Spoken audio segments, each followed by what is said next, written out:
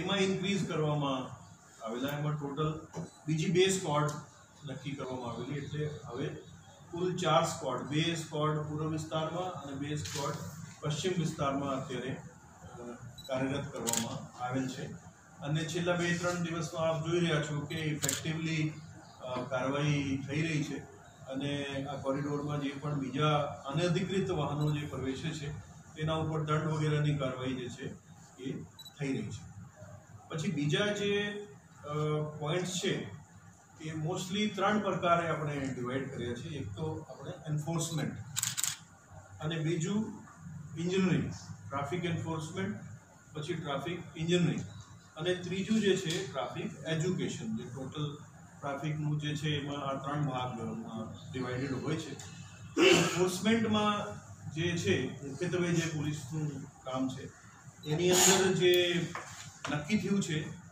તો એક તો જે ઓલરેડી જે જેટની ટીમ્સ ઓલરેડી એક્ટિવ છે એ ટોટલ ફોર્ટી એટ ટીમ્સ શહેરની અંદર છે, જેની અંદર એસ્ટેટ ઓફિસર છે ટ્રાફિક છે લોકલ પોલીસ છે, ગાડી છે.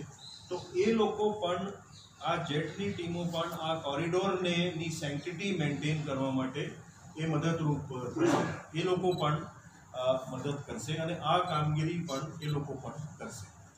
પછી જે સ્થાનિક પોલીસ છે, સ્થાનિક જે પોલીસ સ્ટેશનો છે, એની પણ આની અંદર હેલ્પ લેવામાં આવશે.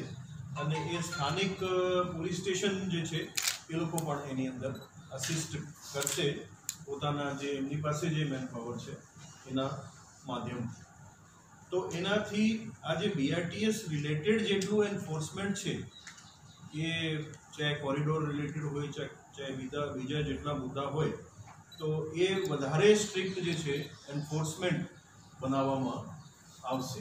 અને એનું અત્યારે ઓલરેડી રિઝલ્ટ આપણે લોકો થોડાક જોઈ રહ્યા છો. બીઆરટીએસ રિલેટેડ જેટલી બી એન્ફોર્સમેન્ટ છે, એને વધારે સ્ટ્રિક્ટ કરવામાં આવશે.